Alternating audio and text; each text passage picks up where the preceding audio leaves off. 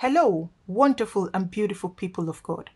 In one of my Bible meetings recently, we were looking at the things that were surrounding the crucifixion of Jesus, and we realized that there was a conversation that was held at that time. Now, there were two criminals that were hung side by side Jesus Christ. Okay, now one of them was scoffing him, and the other one was rebuking the scoffer and at the same time talking to Jesus. Listen to the conversation. This is what the scoffer said.